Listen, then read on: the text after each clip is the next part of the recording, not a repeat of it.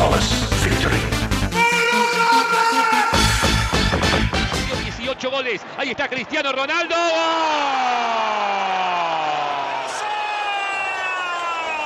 Lanza impresionante. Manotazo. Ha parado Bravo. Ha parado Bravo. Ha parado Claudio Bravo. Es-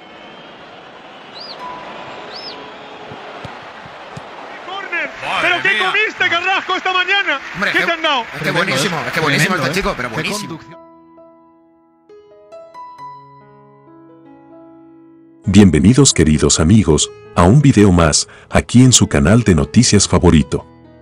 Red Viral Fabini.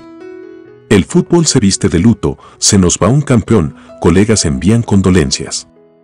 Pero antes de continuar con este video, quiero invitarte a que te suscribas a este canal, actives la campanita de notificaciones y a que me apoyes con un gran like.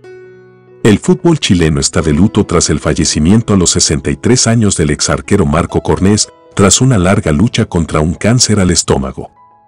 Cornés, el arquero más goleador del fútbol chileno, ganó dos títulos nacionales y una Copa de la República con Universidad Católica, además del título en 1978 con Palestino. Además, fue parte del plantel de la selección chilena que disputó el Mundial de España 82. Su debut por La Roja se produjo en 1983 ante Bolivia y jugó 22 encuentros por el combinado nacional. Su carrera finalizó en 1998. Junto con ello, fue el responsable directo de la formación de la arquera Cristiane Endler, la actual mejor arquera del mundo. El Sindicato de Futbolistas Profesionales de Chile, SIFUP, lamentó el deceso de Cornés señalando que fue, sin duda, uno de los arqueros más importantes en la historia de nuestro fútbol. Las condolencias y un abrazo fraterno para su familia y amigos cerró la organización. Hemos llegado al final de este video, pero tu opinión es lo más importante para nosotros. Quiero invitarte a que comentes aquí en la caja de comentarios.